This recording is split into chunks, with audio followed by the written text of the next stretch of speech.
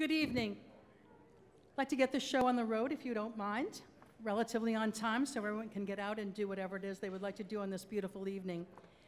As president of the Manchester Historic Association Board of Trustees, it is my honor to welcome you to our 30th Annual Historic Preservation Awards. I'm pleased to say, even through COVID, we haven't missed a year in honoring those who preserve the beautiful buildings, neighborhoods, traditions, and other historic resources in our Queen City. I think they're all sitting on this part of the uh, room tonight. During this period of time, more than 230 recipients have been recognized for a wide variety of preservation efforts in 40 different categories, and we'll obviously be adding to that list tonight. Unfortunately, speaking of COVID, many of you may have already noticed we are without our Master of Ceremonies, Ed Bruder, who unfortunately encountered COVID earlier this week. We are all pinch hitting and running the show without him, although he did a good portion of the work you're going to see tonight, and we know it won't be quite the same without his wonderful radio personality and voice. The MHA has had a few changes this year, including, as many of you probably know, John Clayton stepping down as executive director after a seven year tenure. We are very appreciative of John's contributions during that time and for the level of recognition he has helped the MHA gain. I have it on good authority that John is enjoying well deserved time at the beach this summer, and actually, I think I saw earlier he's in Florida right now and also enjoying time with his family. Jeff Barraclough, our former director of operations, has assumed the role of executive director and is now taking the lead without skipping a beat. And we were fortunate, fortunate to hire a few new employees to complement our small but mighty staff who continue to amaze me with the feats they perform every day, including throwing this together tonight. I'm honored to work with such a great team. I do want to thank you all for being here tonight. I know there are several other events taking place, and so the fact that you chose to be here with us tonight is awesome. You support us in our mission to collect, preserve, and share the history of Manchester, and that is so vital and very much appreciated. In a short bit, you will hear more about what we've accomplished this past year and how your support positively impacts our community. I also want to extend congratulations to all of our award honorees tonight and the Century Club recipient as well. Please take, just let me take a moment to introduce our newest trustees and ask if they would please stand. Those joining our board in 2022 are Sue Gelinas. Thank you, Sue. And Christopher Messier. And where's Christopher? I see him in the back of the room. I think they're wondering what they got themselves into. And would the rest of our board please stand? I think we have almost every board member here tonight, so thank you all. Awesome, thank you. Thank you for sharing your talents, energy, and passion with the MHA. You are a great board, and I really enjoy working with each and every one of you. You make my job very much easier. And a big thank you to our co-chairs for this event tonight, Selma Naccach-Hoff and Gail York, and the entire committee. Thank you. With Gail and Selma leading the charge, this group has gone above and beyond in their efforts to make this an extra special evening for our honorees and guests. And last but certainly not least, it's my pleasure to introduce our honorary chair, Mike Skelton. I'm sure most, if not all of you, know Mike, and he was the president of CEO of the Greater Manchester Chamber of Commerce, and now serving in Concord as the Manchester as the president and CEO of the Business and Industry Association of New Hampshire. I can't tell you how grateful we are for Mike's willingness to take on this role for us, um, especially since he's taken on a new role of his own. The dedication in making this event a success and just going with the flow tonight, Mike, I can't tell you. So with navigating the program without Ed, please welcome Ma Mike Skelton. Thank you so much.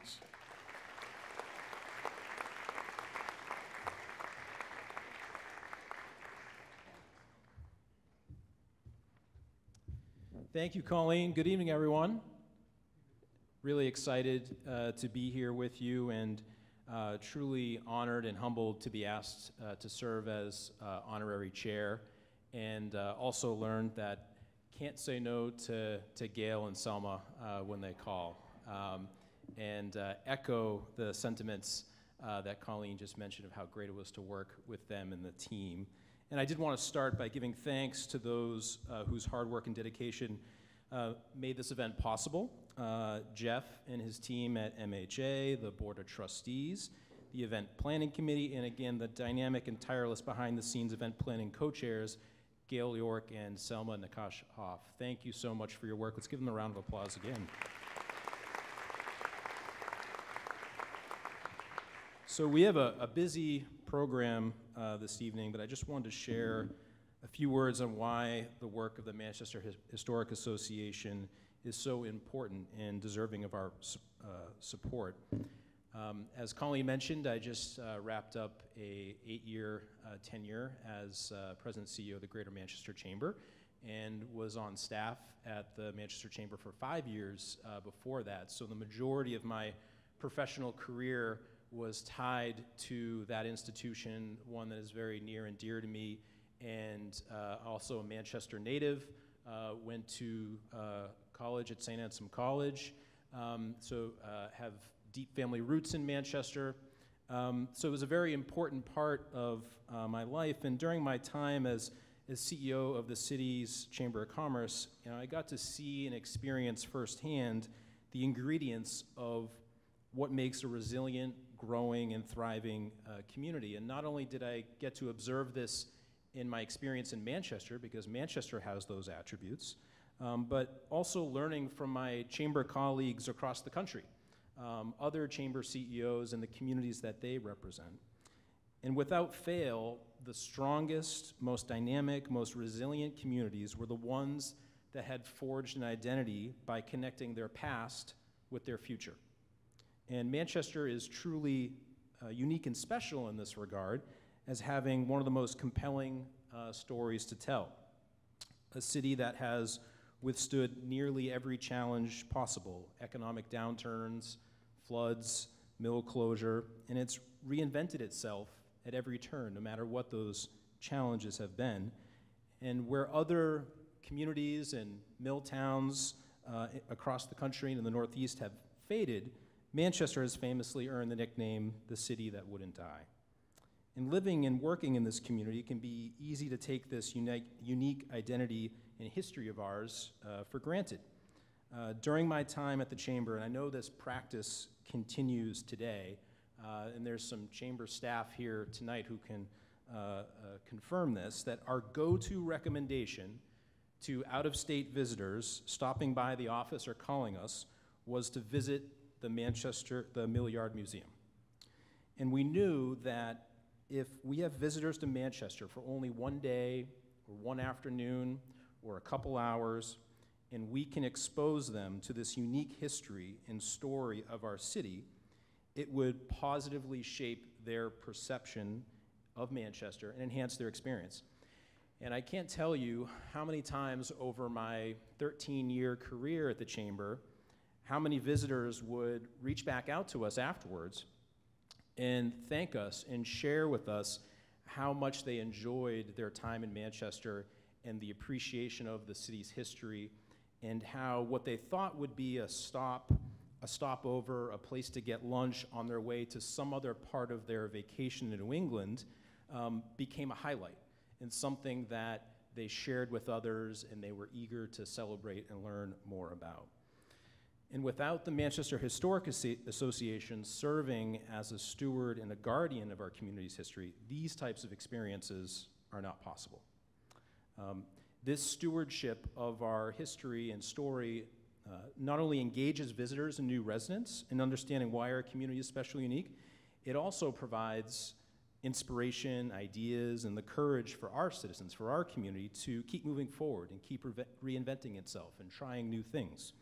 And I think you can see that in the exciting new projects and developments underway or completed over the last few years. You can see that in the honorees and the awards that are given at this, at this event over the years. You know, whether it's new business activity and uh, development in the Mill Yard or the Gaslight District or the Elm Street Corridor, or things like the ARMI Initiative working towards bringing a new type of manufacturing back to the Mill Yard, the biofabrication of skin and tissue and organs, all of these are signs of growth and progress that are built on our historic identity of resiliency and reinvention.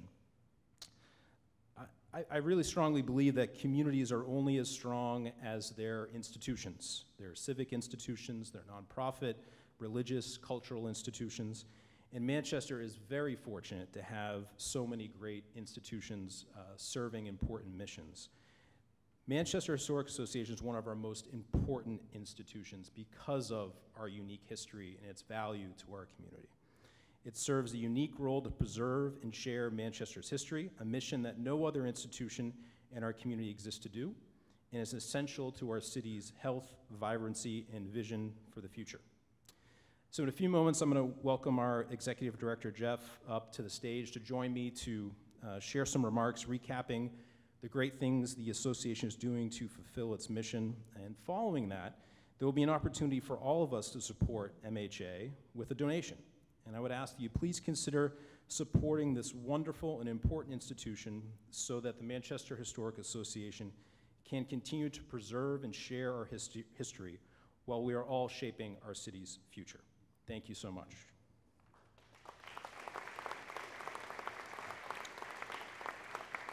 So with that, Jeff, it gives me great pleasure to introduce you to the new Executive Director of the Manchester Historic Association, Jeff Barraclough.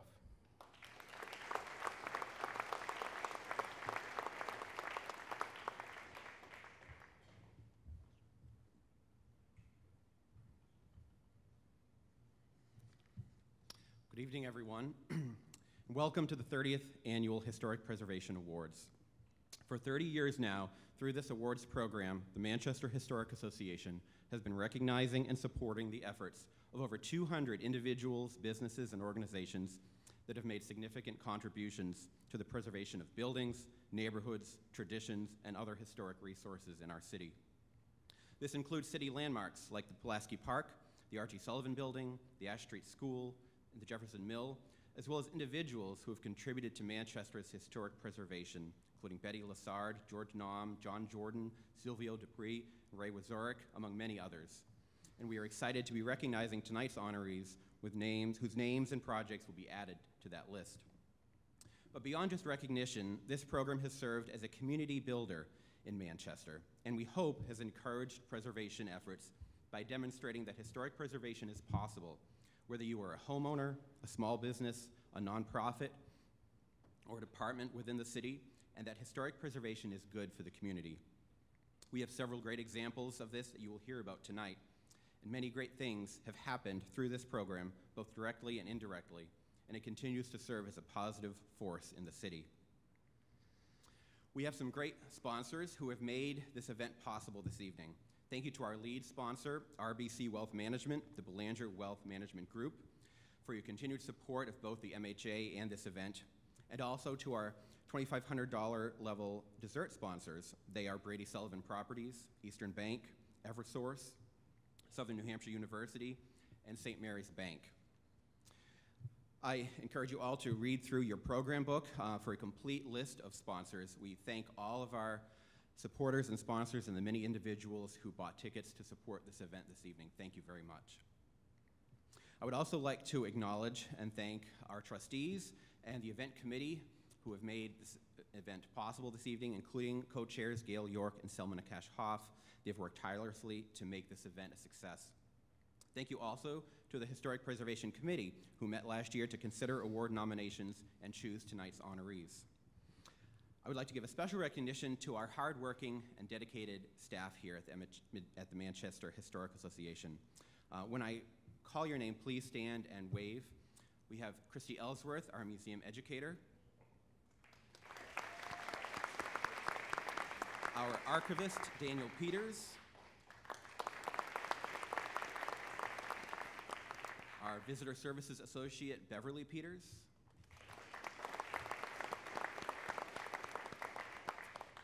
Our maintenance coordinator, Bill Clayton, who is not here tonight. And Mark Mastromarino, our library assistant.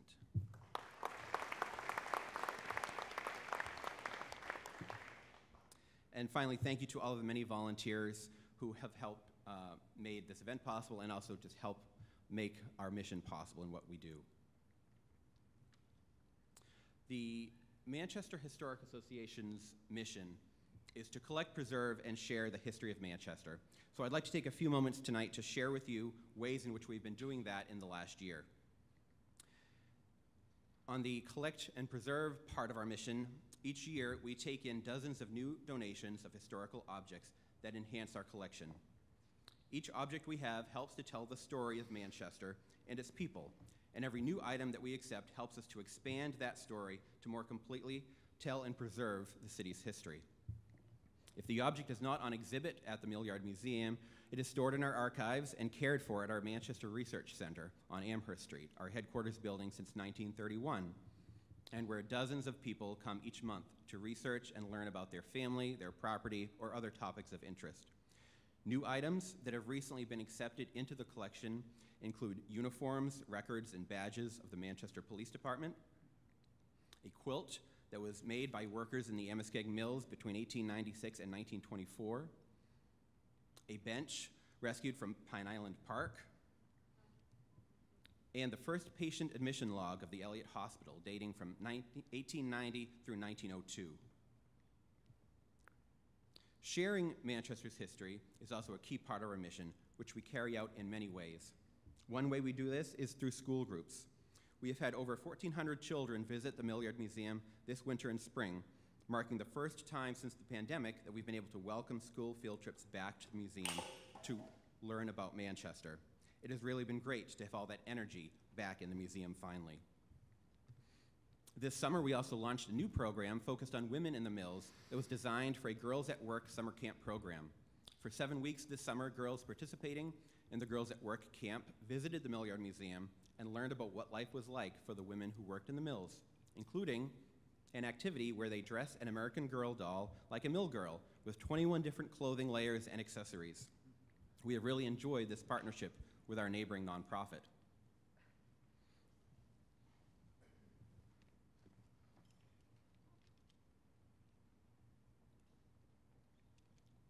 Another way that we share Manchester's history through our mission is through our exhibits at the Millyard Museum. Beyond our regular exhibit that chronologically tells the story of both Manchester and the Amoskeag Mills, we have rotating temporary exhibitions that focus on a particular topic or artist. Our current exhibition, up for another month, showcases the sculpture of John Rogers, a talented 19th century artist and successful businessman who got his start as a sculptor while working at the Amoskeag Machine Shop.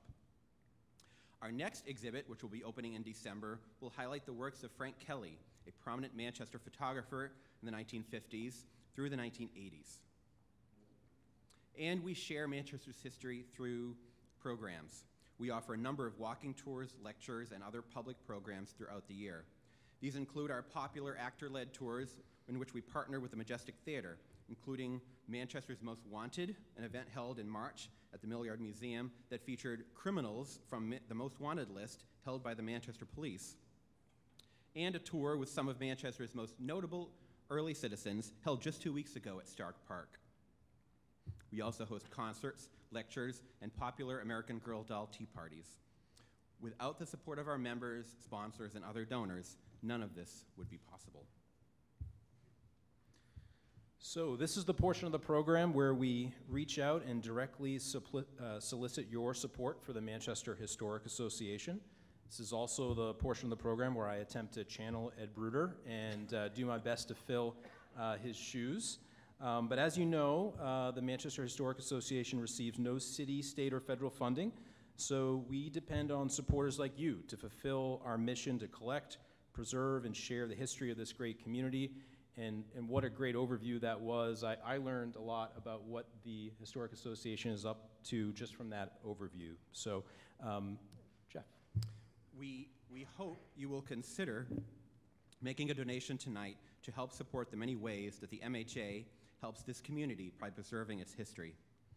If you do raise your hand tonight to make a pledge, we will have board members throughout the room who will be handing out little stars. Uh, please keep your hand in the air so they can hand you a star with the corresponding amount, which will enable us to process your pledge most effic- efficiently at the end of the program. So, to begin, let us start at the $1,000 level. As an example, uh, your donation of $1,000 could help subsidize a new exhibition at the Millyard Museum, such as uh, what you just saw, our current exhibition on the sculpture of John Rogers, or upcoming exhibit of the photography of Frank Kelly. Would anyone be willing to pledge at the $1,000 level tonight? Don Gardner. Thank you so much, Don.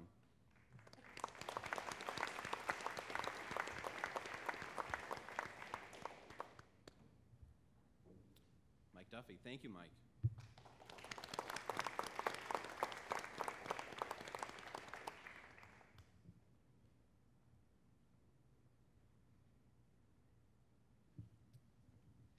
Yes, Doug McAdish. Thank you so much, Doug.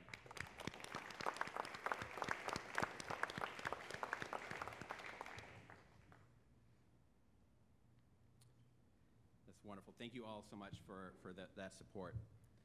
So let's move to the next level with a $500 donation. Your pledge could help subsidize a field trip to the Millyard Museum for an entire elementary school class, including both the program fees for the students and the staff time it takes to develop and run the programs. And uh, I'll get us started at the $500 level. You could take that one. And would anyone else like to join me at the $500 level?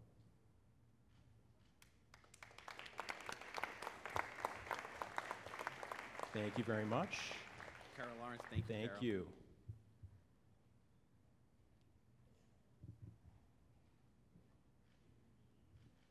Thank you very much. Staff members come right over. Thank you.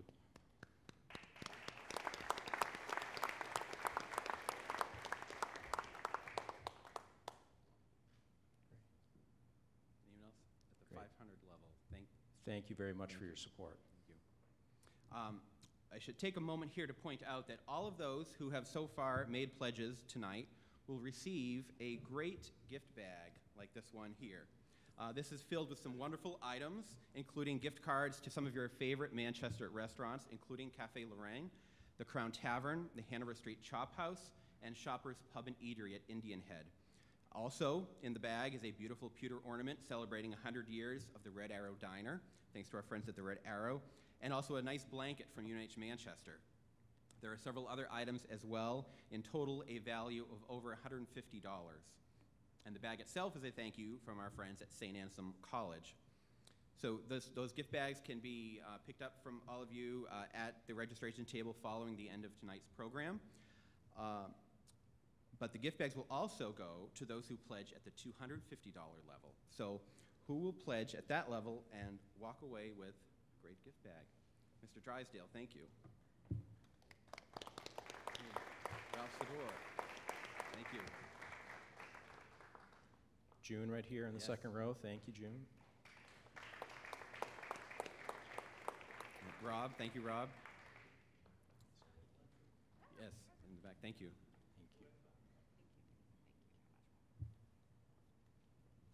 Dave, thank you very much.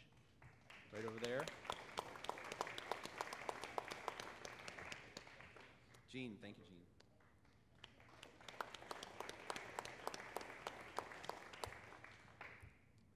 Amy, thank you very much. Right over there. Gift bags are going quick. Oh, Mary Lou, thanks, Mary Lou. Pat, thank you, Pat. Thank you, Pat. You want to move on? Thank you for that uh, great result. Well, as Jeff mentioned, the gift bags are available to you at the end of uh, tonight's program.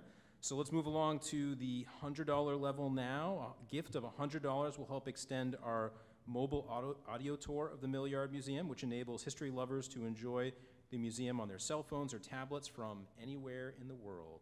Um, $100 level contribution. Thank you, Preston. Yeah. Just hold those hands up. We'll Ben, get a trustee over to you. Ben, thank you.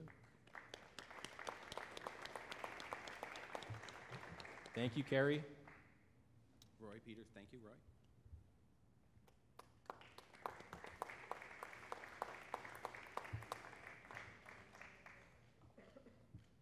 Thank you very much. Thank you. And the final set of stars that our trustees have here tonight is at the $50 level. Would anyone like to pledge $50?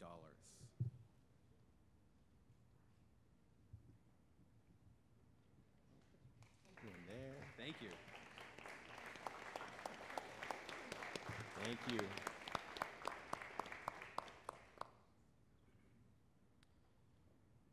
Thank, thank you so much. Um, as just as a reminder, uh, you will notice if you got a star tonight, they also have a QR code on the back. If you wish, you can scan the code to make a secure payment online. Otherwise, staff will be available at the registration table following tonight's program to assist you with your payment. On behalf of all of our members, thank you so much for your support and generosity.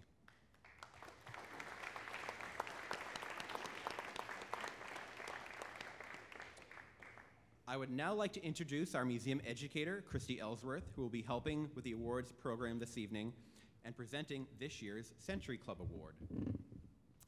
Good evening. Thank you so much, Jeff. Um, I am no Ed Bruder, so I would appreciate just a little bit of patience and thank you so much for joining us tonight. Um, each year, we acknowledge organizations and businesses that have reached the 100 year mark. In 2022, we recognize an institution on Manchester's restaurant scene. Opened in 1922 by David and Mabel Lamontagne, the company has expanded, retracted, and changed hands over time.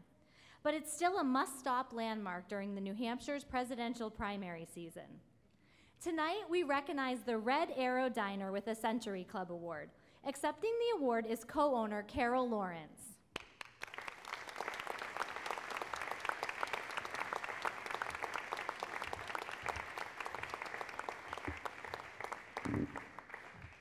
Thank you so much. Many thanks to the Historic Association for this great honor. When I became the fifth owner of the iconic Red Arrow Diner in 1987, I never could have imagined I would someday accept a Century Club Award for the diner's 100 years of service to the community. I am proud to accept this award on behalf of my co-owners, my dad, George Lawrence, and Amanda Wibby, who are, who are here with me tonight, and all of our employees at all at, at our Manchester, Concord, Londonderry, and Nashua locations. We are grateful to the owners and their families who came before us, founder David Lamontagne and Levi Latown, who made the Red Arrow Diner a Manchester staple. While the Red Arrow Diner is known for its home-cooked comfort food and baked goods, American chop suey, or coconut cream pie, anyone? and for being a must-stop location for politicians each and every election cycle. I truly feel the Red Arrow Diner is most special because of its people. Friends meet at our cozy, fun diners. They're a place where memories are made, and our employees are the absolute best. We have many that have spent years and even decades employed with us, and I believe they are the secret to our staying power. The Red Arrow Diner continues to shape its legacy due to our amazing and valued employees and customers who support us each and every day. Thank you again for this wonderful recognition of the Red Arrow Diner's place in Manchester's history and future. And I hope you'll join us at our 100th uh, anniversary celebration on October 15th. It's going to be a great time. So, hope to see you all there. Thank you.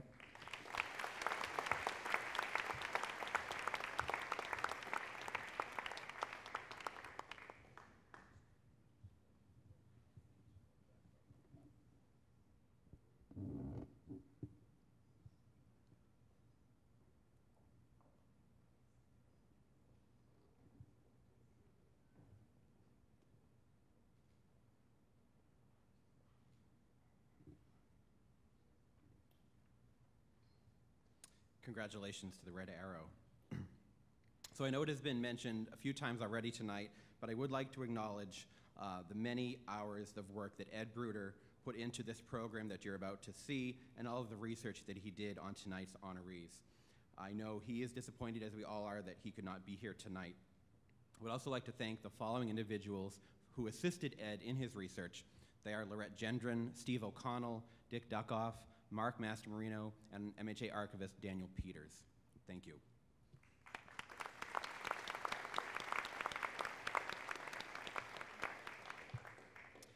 So as you will see, the, this year's awards are geographically well distributed around the Queen City. We are going to start on the west side, where a particular home in a quiet residential neighborhood has had just three owners in its 110-year existence. The story begins in 1912 when a Boston and Maine locomotive engineer named Zena Sprague Foster decided to build a home at the, at, at the southeast corner of Warner and Wilkins Streets. He had married Eleanor A. Morrill in Maine 16 years earlier. They had two children, but sadly both died in infancy. The Fosters had moved to Manchester in 1906, living at first on South Elm Street. Property records indicate that their home was built at 187 Warner Street in 1912. Researching the home proved tricky because a city directory typographical error listed it as 178 Warner Street for several years, but the owners were clearly Zena and Eleanor Foster. After Zena's death in 1929, Eleanor remained at 187 Warner Street until 1942, when she sold it, sold it to Wilbur L. and Morag Rollins. Wilbur was a teacher at West High School. The couple raised their three children, Janet, Henry, and Catherine, in the house. Janet was the last to live there, by which time it had been owned by the Rollins family for 50 years. The house was purchased by Claudette O. and Robert B. Perot, both of whom work at nearby St. Anselm College. They were told that Wilbur Rollins, the shop teacher from West, spent years modernizing the house inside and out to fit the style of the 1950s. It was still stuck in the 50s when the Perots bought it in 1992. Commonly referred to as a New Englander style house with two stories, attic, and unfinished cellar, the property includes a single car garage with attached storage shed. The Perots' goal has been to return the house to its original style, or at least to something comparable. They have done some work, some of the work themselves, but have also hired professionals to handle larger projects. Bob and Claudette had sole control of all planning, creative ideas, choice of materials, styles, and colors. They paid off their mortgage in just under 14 years, pursuing the renovations a bit at a time according to their finances. They undertook each phase on a pay as you go basis. The exterior of the house was covered entirely with light green asbestos shingles. Windows had very narrow, plain, dark green painted wooden trim. There was a large green, uh, large picture window in the living room that did not balance well with the two windows on the floor above. On the south side of the house, where the kitchen is, there was a small picture window. Towards the rear of the house, a side entrance mudroom had been enclosed by the previous owner, creating a tiny room with windows on the west, south, and east sides, none of which opened. The lack of windows meant there was no means of ventilation. A small cracked and crumbling concrete deck with dark green, rotting wooden railings stood outside the rear entrance. The upstairs had three bedrooms. Most had plaster ceilings with cracks here and there and no ceiling molding. There was a small trap door to the attic and the hallway ceiling, accessible by ladder. There was no floor in the attic, just rafters. Nearly everywhere, there was horsehair plaster walls painted or covered in aging wallpaper. Doorways and windows were framed either in original early 20th century fir or painted pine molding, or 1950s style plain wooden painted molding. The first floor had three arched doorways without doors or molding. The only known hardwood floors were in the living and dining rooms. All other floors were covered with aging linoleum. The bathroom had tiled walls from floor to ceiling, while the kitchen had horsehair plaster walls on the top half with masonite wainscoting on the bottom. Claudette and Bob did all of the planning and designing and much of the demolition whenever possible. An early priority for them was upgrading the electrical service and installing new plumbing. They created ventilation in the kitchen and future breakfast nook by installing energy efficient vinyl windows to replace those that did not open. They selected a style of windows aesthetically compatible with the older character of their house. They purchased vintage era fir molding from Vermont Salvage to frame the new windows. They demolished the rear entrance deck and had a carpenter replace it with a wooden deck and a wooden spindled railing. Having discovered a large quantity of original fir molding removed by the previous owner, who had stored it in the attic, the Perots decided to widen the archway between two rooms, transformed into a true doorway. They purchased a set of two period fir French doors from Vermont Salvage to install, along with newly discovered fir molding, which they had stripped and refinished. They removed a sagging canvas ceiling in the living room, revealing a cracked plaster ceiling nine inches above, which they also removed. This in turn revealed a ceiling structure that would perhaps not have supported the master bedroom above, which they were planning to turn into a library slash in-home office filled with bookshelves and heavy furniture. These issues were gradually resolved over several years.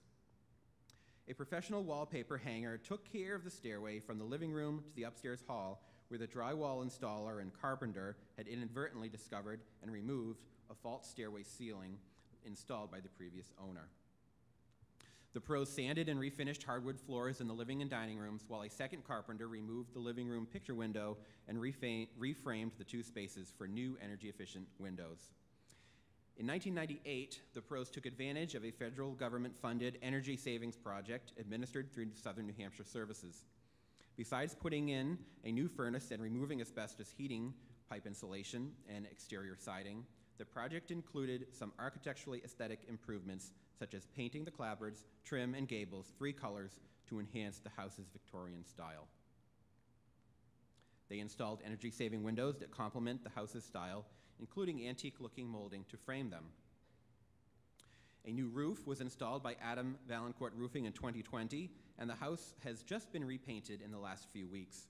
While there isn't time to list every detail of the renovation, suffice it to say that Bob and Claudette have made the restoration of their home a labor of love. Incidentally, this is not Bob Perot's first time on this stage. The published author, accomplished photographer, and French culture educator received an Historic Preservation Award for Education at our 1994 gathering. The Manchester Historic Association is proud to present this Homeowners Award to Robert B. and Claudette O. Perot for their home at 187 Warner Street.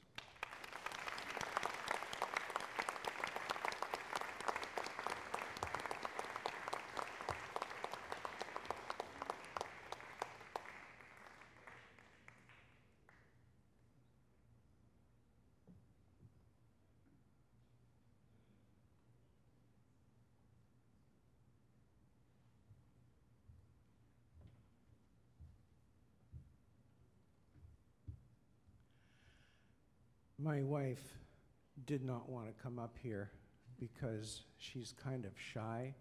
So she said, I will go up if you speak. But I am speechless after this program. I didn't realize we had done so much. I'm, I'm just, I'm, I'm totally amazed. I do want to thank a few people from the Historic Association, Dick Duckoff, who visited us and said, I really like what you're doing with your house, and I like that it's on the west side, and I like that it's a modest house. Because if you, I'll, I'll nominate you, and if you get the award, it may just encourage other people with, on the west side, with smaller houses like that that are old, to maybe restore their houses the way we did. So I want to thank Dick for that, and I also want to thank Jeff, and I want to thank uh, John Clayton and Ed Bruder definitely for that beautiful, and I want a copy of that the text, definitely. And Dan Peters as well. All of these people had a role in helping us. Thank you very much to the Historic Association and the committee that chose this award. Thank you.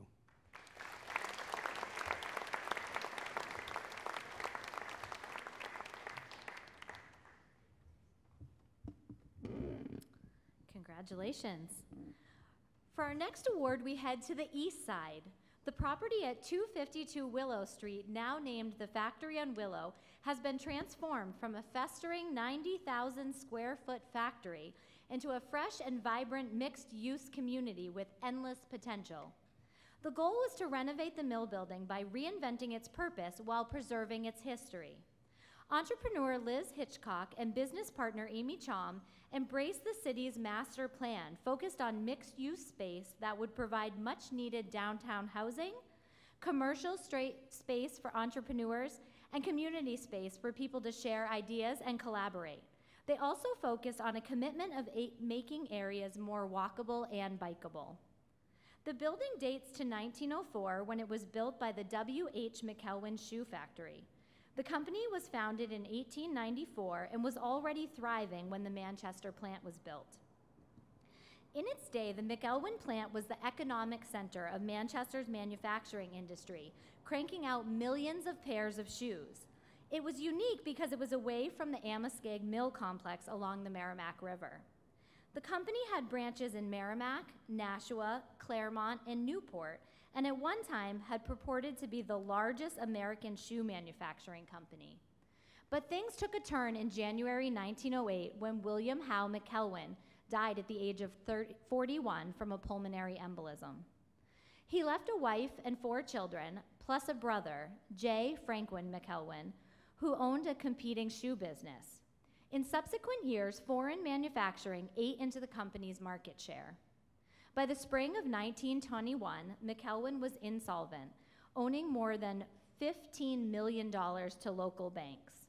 Naturally, hundreds of people's employment was on the line. The assets were purchased by the International Shoe Company. But in 1925, the Federal Trade Commission ordered International to divest itself of McElwain properties. The building became known as the Cohas Shoe Company. Under the Works Progress Administration, a massive sewing project was established, providing employment for a thousand local women with pay equal to men engaged in labor under the WPA.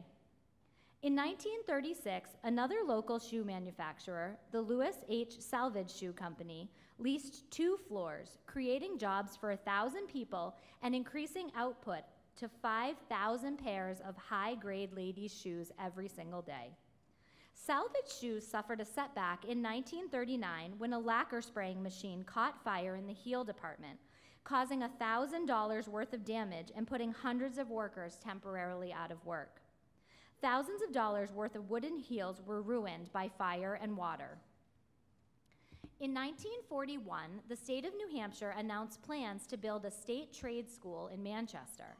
The location they picked was largely vacant brick factory building at 252 Willow Street. It opened in 1945, but the next year the salvage company invoked a 90 day notice clause in the lease. For a time, the state considered trying to take the property by eminent domain. But here is where everything becomes strangely interconnected. The State Trade School relocated to the north end in the original Webster Street School on Webster Street. It spent many years there, undergoing numerous name and location changes, until we arrive at the very building we are in tonight, Manchester Community College. Back to 252 Willow Street. From the late 1940s, it was occupied by Johnson Shoes Incorporated. By 1974, the vacant building was being shopped around by the Cohas Realty Corporation. Until the day it was discovered that as much as 200,000 gallons of oil had escaped a ruptured fuel tank buried six to eight feet below the ground. That necessitated a costly and time consuming environmental cleanup. More than 5,000 tons of petroleum contaminated soil were eventually transported off site for thermal treatment recycling. The factory stood empty for years until Raymond Bossino bought it in 1979 for his company, Electropac, which was bought out and relocated in 2015. Incidentally, back in 1997, Mr. Bossino received a Historic Preservation Award for Education not for the building itself, but for a historical exhibit he installed in it. The Hitchcock renovation began in 2019 and took two years to complete. Beyond improving the optics of Willow Street and the footprint of the site, renovating the old factory went a long way towards mitigating the pre existing environmental impact of the languishing building. The factory is T shaped traditional factory brickwork with exposed beams and large windows. The original central staircase has been preserved and beautified with artwork from local artists. Liz selected certain original items to be featured in the building as a display of its history, including original wood and glass doors, cast iron boiler arch doors, and a beam that was repurposed as a bench in the lobby. She also made a large investment in replacing the windows, keeping the black sills for the integrity of the design. The factory on Willow offers a variety of freshly renovated open concept studio units featuring original loft style finishes like rustic red brick walls, exposed oak beams, and large windows for access to an abundance of sunlight and fresh air. It offers on site parking and green space for gardening, exercise, and relaxation. The factory's location provides access to central businesses and the scenic river walk area. The factory has over 60 residential units and an additional 16 themed Airbnb studios that provide corporate housing to traveling nurses. Pets are welcome with a fenced in area where dogs can run free, play, and get to know their neighbors. The outdoor landscape brings the community together with a vegetable garden. Gardener Pete teaches about seedlings and composting, and residents are able to grill in the backyard and play lawn games. AIR at the factory is an international artist and residency program that pays artists to develop their body of work while living at the factory for three months. The program has hosted six artists since its beginning in July of 2021. The factory is a working place for commercial tenants. Today it hosts Loon Chocolate and 603 Charcuterie. The all season food truck patio offers delicious meals to residents, guests, and neighbors alike. The Manchester Historic Association is pleased to present the Adaptive Reuse Award to Liz Hitchcock for the factory at 252 Willow Street.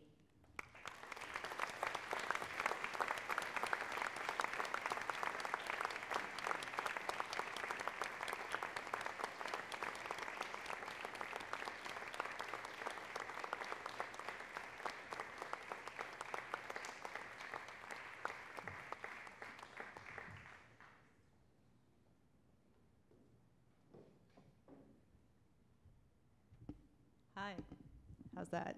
What a whirlwind tour of the last three years of my life. I mean, the ups, the downs, the roller coaster, it was a time, let me tell you. Um, I'm humbled tonight looking around this audience. So many friends, so many mentors, so many people I've learned so much from. Like, I just, I, I can't, there's so many amazing community leaders in this audience. It's making my heart extremely full. And I think hopefully I make some eye contact with some of the people that have meant so much to me over the years. So thank you. Uh, it's great to be honored alongside an amazing artist, not to jump ahead, but I love that because obviously arts and culture have been such an integral part of my life for the last 20 years. And the factory actually is really cool for many artists in our community. Um, I think it's really neat that there's so many artists that drove by that building the Institute of Art, many students came down and drove by that building. Mariana and Vivian Beer came by that building thinking that it's a place where art needed to happen. So it's just a manifestation and continuation of kind of years of artists thinking about what could happen in this space. Um, I want to thank the team at the factory, Mariana, Jamie, who's not with us tonight, Matt, who's not with us tonight, Carmen, who's not with us tonight, and then all of the folks at Orbit Group, our family office, who helps do all the hard stuff like finance and marketing, and our uh, chief creative director, who has done much of the artwork over there. If you've seen the food truck patio or the artwork on the, uh, the floors, Dave Haiti. Um, of course, all projects don't happen without a team, and I had one of the most amazing teams in the city that was ever put together uh, Eckman, Market Square, uh, O'Neill, our banking partner, Service Credit Union. I had a great leasing agent with Elm Grove, and I appreciated their help, and I learned so much from them. Um, it was a great home for the innovators, creators, and entrepreneurs that live there today. And finally, I want to thank uh, the Manchester Historic Association for seeing the importance in historic architecture, but more than that, the history of Manchester being so important.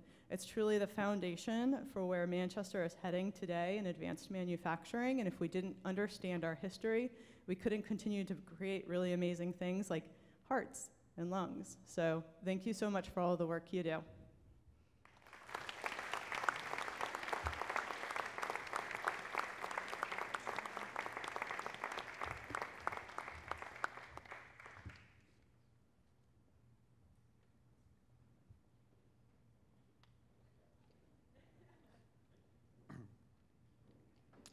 Our next recipient tonight is a fine art photographer and photo educator who has been recognized with multiple awards, grants, and fellowships during a 50 year plus career. We are pleased to add ours to the list tonight. Gary Sampson's relationship with the Manchester Historic Association goes back decades. Back in 1968, he got a summer job at the MHA. One of his tasks was making contact prints from the sizable glass plate negative collection which once belonged to the Amoskeag Manufacturing Company. For example, this print was made from a glass negative of the 1914 fire that destroyed the Merchants Exchange building on Elm Street. What he took away from that summer experience was an appreciation of the power of photography as a tool for sharing history and culture with a wide audience. In 1969, he took on the task of documenting one of Manchester's most elegant and distinguished homes before a wrecking ball erased it from the earth. Gary fully photographed the Willows, home of former Mayor and Governor Frederick Smith, which was located on a 10 acre estate in what is now the rear parking lot of the Brady Sullivan Building, formerly New Hampshire Fire Insurance Company. His professional career began in 1971 at UNH, where he served as university filmmaker and manager of photography. While in Durham, he produced 10 films featuring New Hampshire's history and culture. They have aired locally, regionally, and nationally on broadcast and cable television. Throughout the 1960s and 70s, he captured images of Manchester's past, like this shot of the lower canal in the Enniskillen Mill Yard near Granite Street. And the city's present, like this little charmer whose image was used in Gary's latest book. He has made a record for posterity of places that are no longer there, like the Clap Block in Granite Square. He has memorialized the faces of strangers and the faces of people we know, like fellow honoree Bob Perot. His creative output includes both still photography and videography. He has explored, curated, and utilized numerous 19th and 20th century photographic collections in the production of both films and exhibitions relating to New Hampshire's industrial past. Perhaps his best known film is A World Within a World, the Amoskeag Manufacturing Company and Milltown, a story about the Queen City's textile mills and the immigrants who operated them. This film was also turned into another book. During the 1980s, he organized and curated an exhibition on the Franco American experience, traveling to Canada and France, as well as museums throughout New England. In 1981, he began a six year collaboration with world renowned portrait photographer Lotte Jacobi. After producing a film on her life, he cataloged her archive of more than 47,000 negatives, which is now housed at the Dimond Library at the University of New Hampshire in Durham. In 1984, the New Hampshire Council on the Arts awarded his second fellowship for a series of environmental portraits of Granite State artists and writers. In 1989, his work was featured in yet another book, Merrimack Valley, New Hampshire, A Visual History. His work is found in the permanent collections of the Currier Museum of Art, the New Hampshire Institute of Art, now part of New England College, the UNH Art Museum, and the National Archives in Washington. In 1980, excuse me, in 1998, his work was included in a Currier exhibition called Moments in Time Master Photographs. And in 1999, a port portfolio of his portraits went on display in France by special invitation from the French government. Our own state government has recognized Gary several times. In 1999, he served as the official state photographer during a program at the Smithsonian Folk Life Festival, documenting more than 140 traditional craftspeople and musicians from around the state.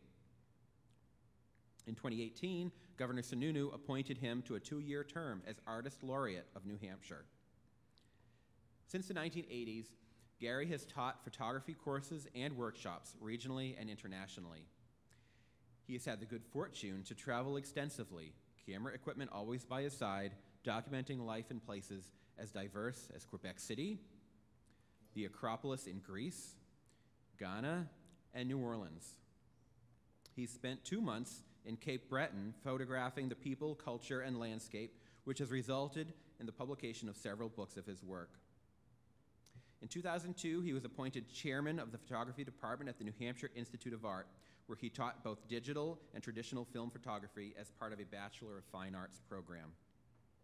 In May 2017, he was appointed Professor Emeritus of Photography after his retirement from the New Hampshire Institute of Art. Earlier this year, his work was featured in this beautiful hardcover book, New Hampshire Now, a photographic diary of life in the Granite State, which accompanied exhibits of photography throughout the state at museums, including the Millyard Museum. For helping us to remember where we came from and reminding us of places that are no longer, and for his many contributions to our community, we are proud to confer this Individual Achievement Award.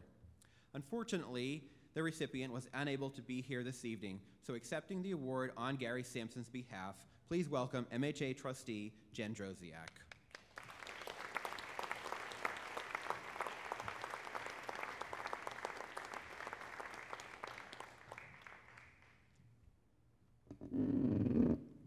Good evening. I am very excited to give Gary's speech tonight because not only am I a trustee, I have known Gary since 2008 when I was a photography student of his at the New Hampshire Institute of Art. And Gary quickly became my mentor, a friend, and a colleague when he hired me for a brief stint uh, teaching at New Hampshire Institute of Art.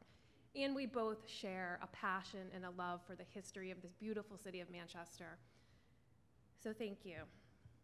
I want to begin by thanking the Manchester Historic Association for awarding me the Individual Achievement Award tonight. I regret that I cannot be here in person to accept this great honor.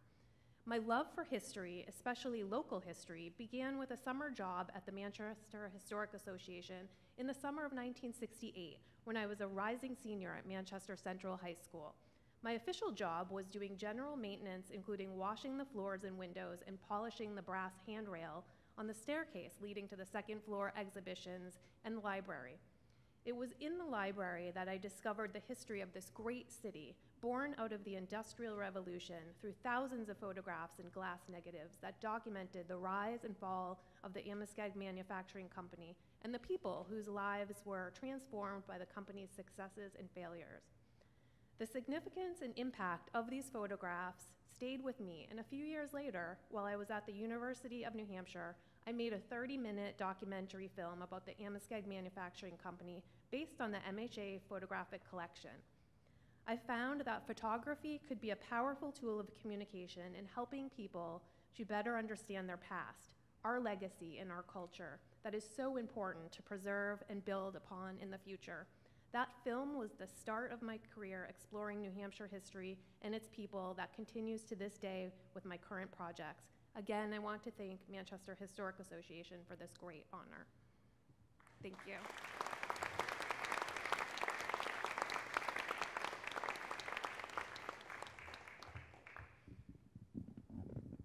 All right, congratulations to Gary. Our next award is also on the east side, but is almost in Auburn. As you probably know, Manchester Waterworks is responsible for providing drinking water and fire protection to the city of Manchester, as well as portions of Auburn, Bedford, Derry, Goffstown, Hooksett, and Londonderry. It has been fulfilling this mission since 1871. So, what are we talking about when we discuss stewardship? It generally refers to the careful and responsible management of something entrusted to one's care, as in stewardship of natural resources like water.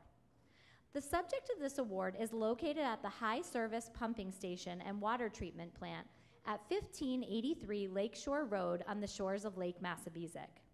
The White House was built in 1895 as the residence for the operator of the High Service Pumping Station, which pumped drinking water from Lake Massabesic up to the Oak Hill Reservoir by Derryfield Park and Weston Tower.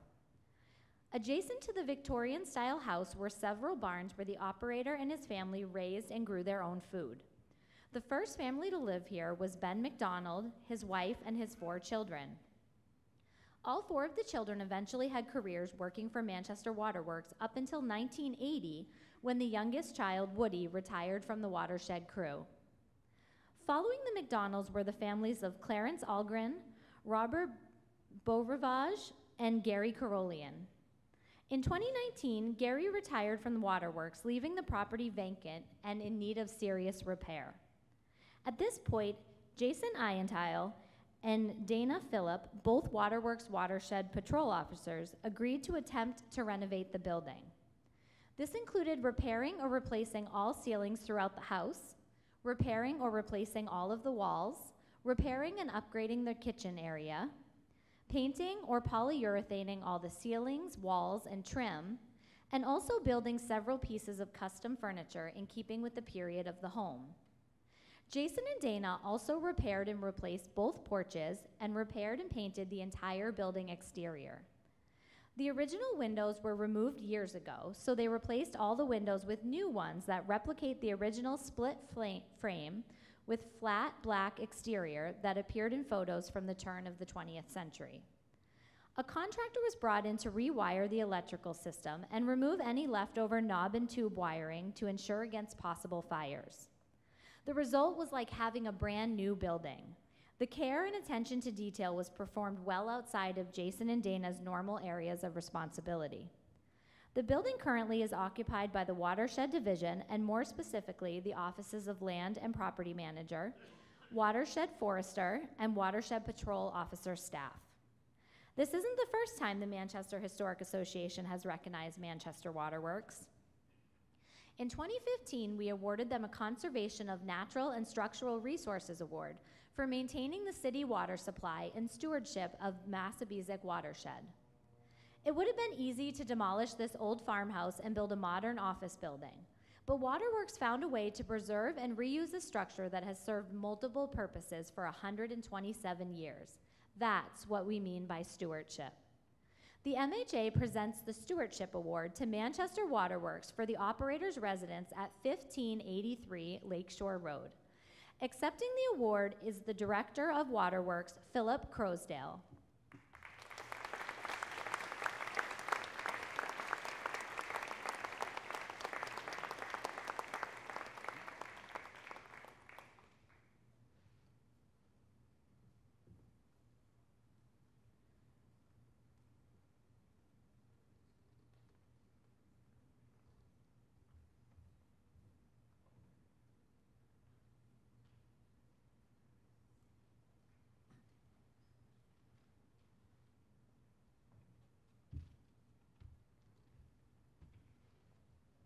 Be, I'll be very brief. I know, I'll be very brief. I know we have, people have a lot to do tonight. Uh, First night of football, sound familiar? Um, Yeah, most of it was mentioned in that uh, presentation. It was very good. And uh, I just want to say, I'd like to thank uh, Colleen Kalinsky, the president. Sorry Ed Ed Bruder's not here tonight. I met, I actually met Ed out when he was taking pictures of the house. I, ha- house, I happened to be out there that, that day, and we had a nice discussion, very nice gentleman. I'm just sorry he couldn't be here tonight. Um, and thank the nominating committee for this, this great honor. And again, it's the second time we've been here in seven years. We do have a lot of historical buildings with the Manchester Waterworks. We're 150 years old, and I hope, hopefully, within the next several years, we'll be back with a few more. Originally, originally, the building was called the dwelling house, as was said. I'd just like to make one correction. The building was actually constructed in 1893. Uh, It was done in conjunction with the high service station, which, if you look at that picture right there, the high service station would be to the right of the building, right on Lake Massabesic. And just to give you a little bit of history as to why that, that uh, farmhouse was constructed, in 1871, Manchester had a population of about 22,000 people.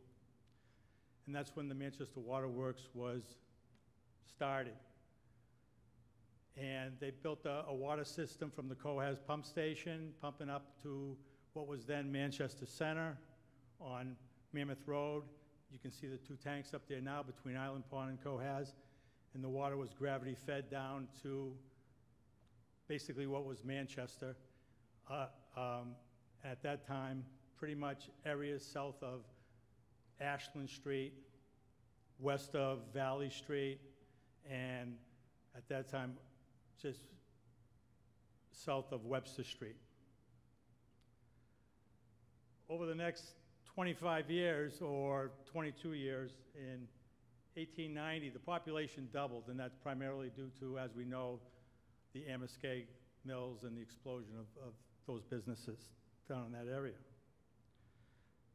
So, in, as soon, as, as early as 1873, they were already thinking about how they were gonna serve water to the higher elevations. The current water system only allowed them to serve to a certain level because, again, it was gravity fed by pressure.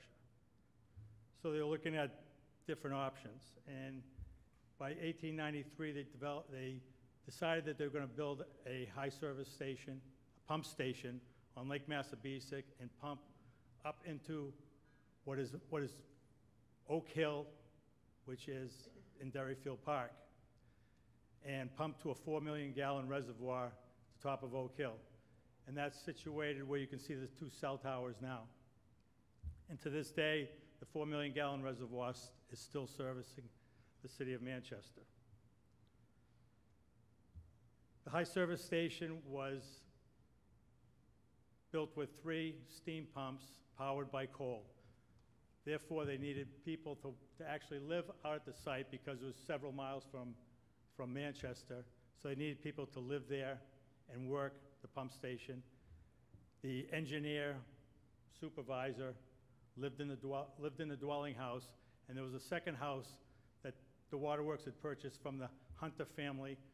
There was a family, a Hunter, that owned a farm adjacent to this property. They purchased that house, and another operator lived in that house.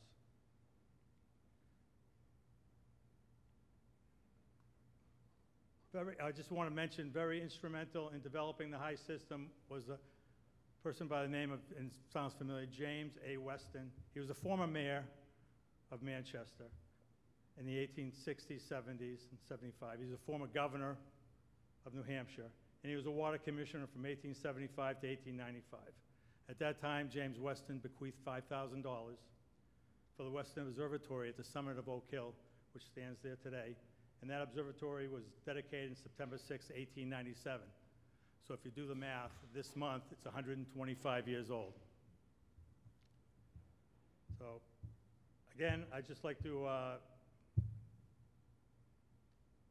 thank Manchester House, uh, Man- not Housing, Manchester Historic Association, excuse me, for this distinct honor. And I'd like to introduce John O'Neill, our watershed property manager, to say a few words. He was the person with the vision that I credit with convincing me at the time that the building was salvageable and shouldn't be razed and replaced with something new.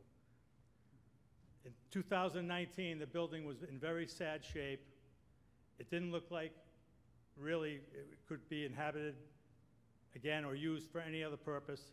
But John, con- John, we took a tour and John convinced me that the building could be saved and be be repurposed for what it is today, which is our watershed division and the offices for John and his crews. John?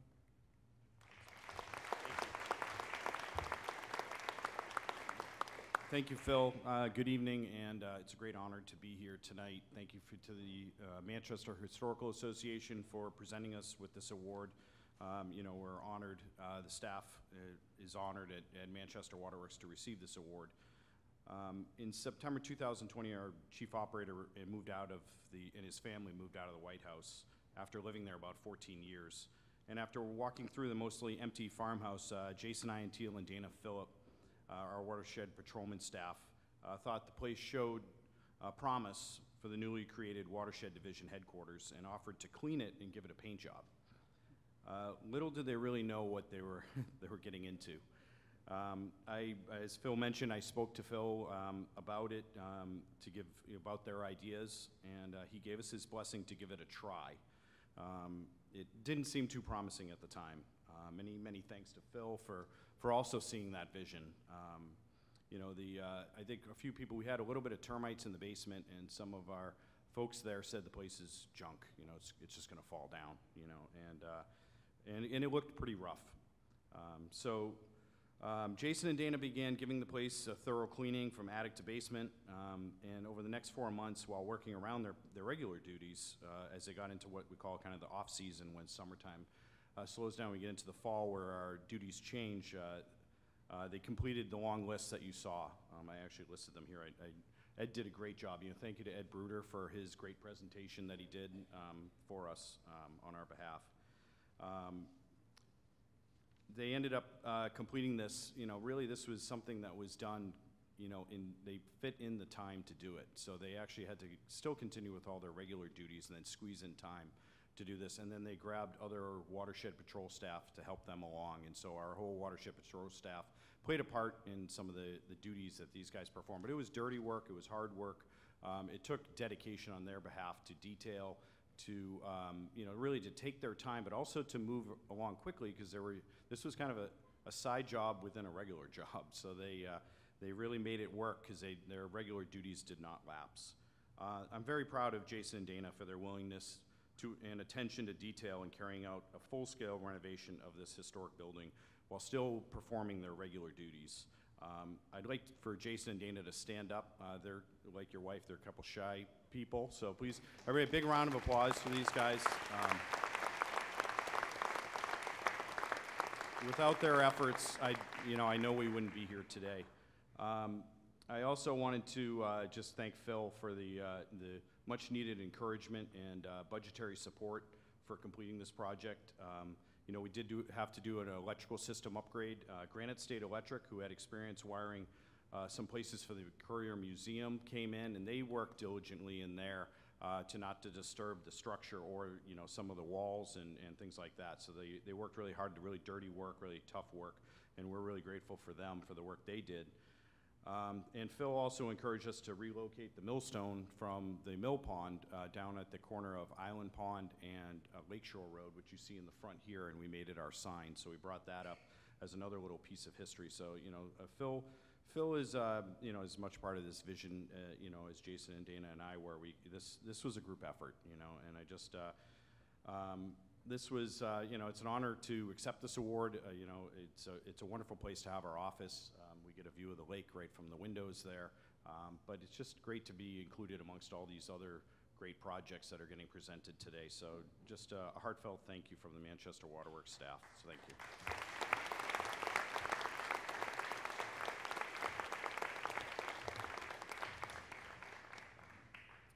Congratulations again to Manchester Waterworks. For our final award this evening, we head to the north end of Manchester although the story begins on November 26, 1869, in Point St. Peter in the province of Quebec with the birth of Edwin Hamlin LeGresley.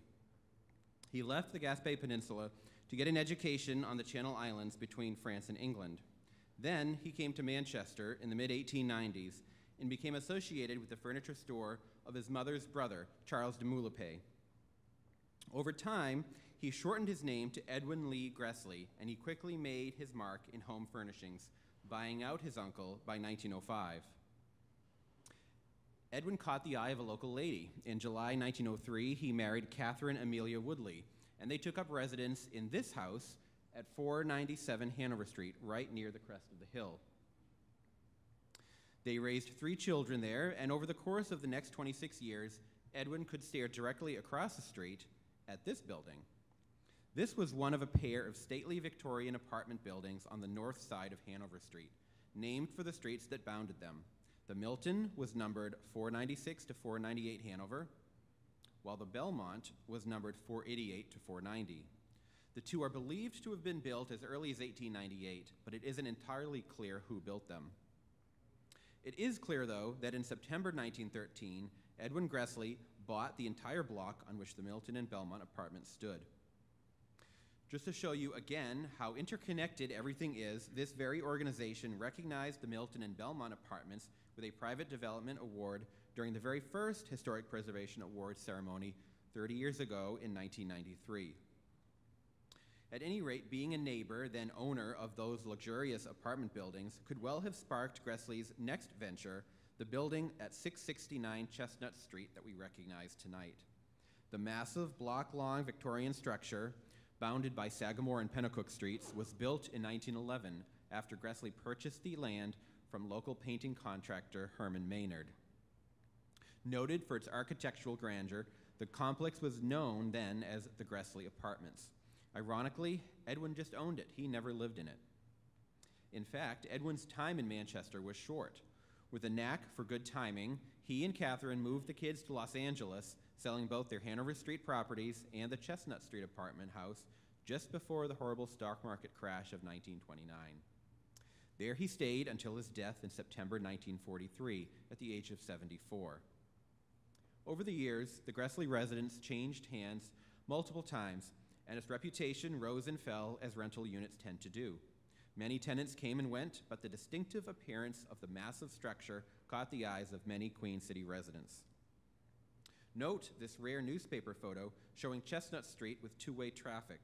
This photo accompanied a four-page Union leader spread on February 11, 1936. the building had just changed hands and the new owners launched a major remodeling. They subdivided the existing apartments, reducing four to six room units into convenient two room units. Altogether, there were 39 apartments, and the rate of occupancy was 95%. Each featured modern gas cookery and Electrolux refrigeration. In July 2015, Ron and Jenny Menning of North Sutton purchased the sprawling Chestnut Street property. They embarked on numerous interior, exterior, and infrastructure improvements, enlisting the expertise of several New Hampshire craftsmen. This required an extensive investment of time and money and a strong commitment to preserving the building's original architectural details. There are 15 elaborate opalescent stained glass exterior and interior doors at the Gressley residence. In various states of disrepair and damage, some were nearly irrecoverable. Harvey Best's Antique Furniture Repair and Restoration in Andover, New Hampshire, took on the project of repairing, replacing glass, and refinishing these doors. The stunning stained glass doors continue to highlight the magnificent front entrance that is framed by stalwart Corinthian columns. A new sign in the front of the building draws attention to the grand entrance and replicates the intricate design features visible on the building's columns, brackets, and cornices. Ornamental trees grace the front yard, and the Gressley's backyard is now a spacious garden patio. Kitchens and bathrooms were refreshed with new fixtures, appliances, and granite countertops. Lighting, plumbing, wall repair, and painting were all addressed. Restoration of the original hardwood flooring required removal of multiple layers of old flooring. It was like opening a time capsule to see the changes that were made through the decades.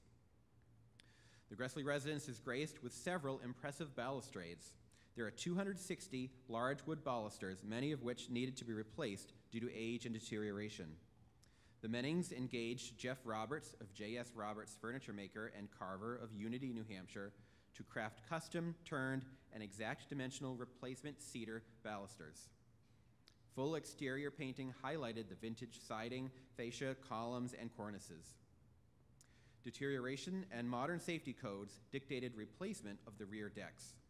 Complete removal and replacement of multi-floor decks, stairs, and railings was done to enhance the structure and appearance of the building. The Mennings have made significant investments in the infrastructure, including repaving the parking lot, full insulation and weatherization, interior electrical upgrades, HVAC repairs, new basement bulkheads, garage roof replacement, and exterior lighting. The eighth annual MHA Historic Preservation Awards in 2000 featured a People's Choice component, which allowed citizens to nominate their favorite buildings. The Gressley residence won, outpolling 35 other entries. Tonight, we are pleased to present this Restoration of a City Landmark Award to the Gressley residence at 669 Chestnut Street. Owners, owners Jenny and Ron Menning are away, but their son and daughter-in-law, Matt and Marilyn Menning, are here to accept the award.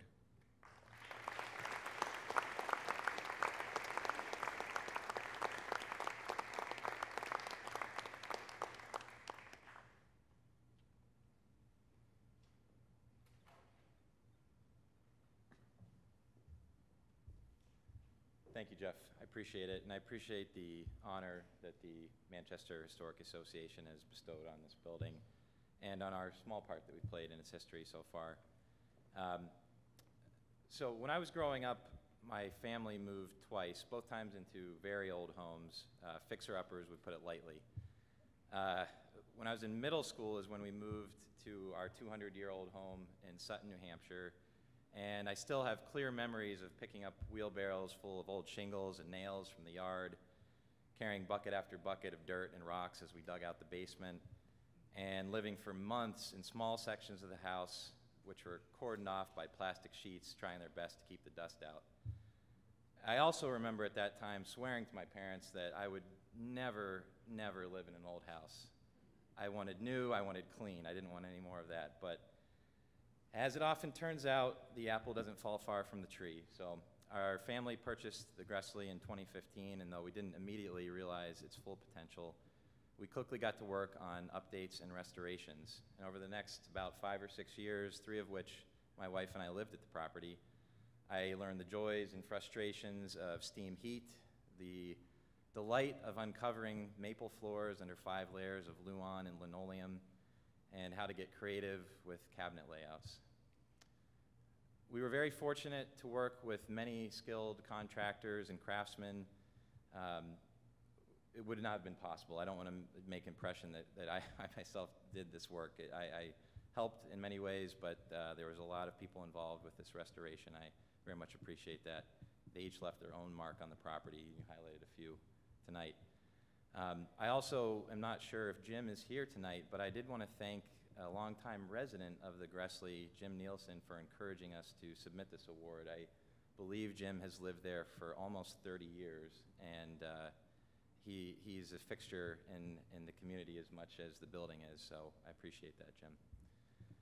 Uh, the experience of blending old with the new, sticking to budgets or sometimes blowing through them, contending with the seemingly unending problems are at the same time maddening and supremely rewarding. There's nothing quite like the tangible satisfaction of restoring a historic property. There's a sense of respect for the craftsmanship, the blood, sweat, and tears of prior generations, while also the pride of creating new beauty born in your own mind's eye. The Gressley turned 110 recently, and as anyone knows who owns an old home, the projects are never truly finished. I look forward to continuing the stewardship of this historic Manchester landmark for many years to come, and thank you again for the honor.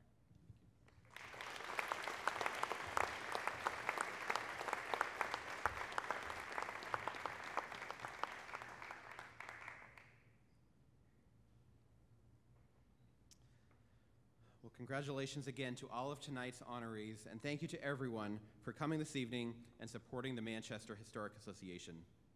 Before we conclude, a reminder for anyone who pledged support tonight if you would like to check out with your star, Dan and Christy are happy to assist you at the registration table in the foyer. You may also use your smartphone and scan the QR code on the back of your star. And thank you to everyone who bid on tonight's special silent auction items that we had out in the foyer. And I have the winners to announce. So the following individuals have won, and they can also check out at the registration. So to start with, we have our Millyard Museum membership and gift bag, and that goes to Ben Horton.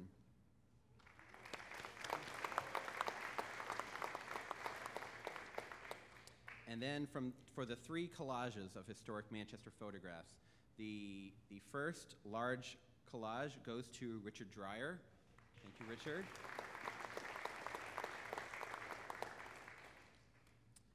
And the second one goes to Peter Hastings. Congratulations, Peter. And the small collage number two also goes to Richard Dreyer. So congratulations to all of you, and thank you for bidding on those items. Finally, an announcement about the 2023 Historic Preservation Awards. After the pandemic forced this event into a September time slot, the past couple years, we are planning a return to normalcy and moving the Preservation Awards back to spring, likely in late May. So, to that end, nominations are now open for the 2023 awards.